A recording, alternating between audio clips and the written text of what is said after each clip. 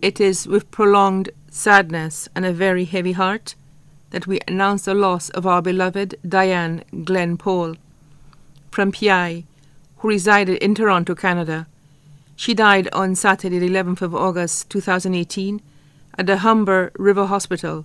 She was 53 years old. The funeral arrangements for the late Dianne Glenn Paul will be announced in a subsequent broadcast. May she rest in perfect peace.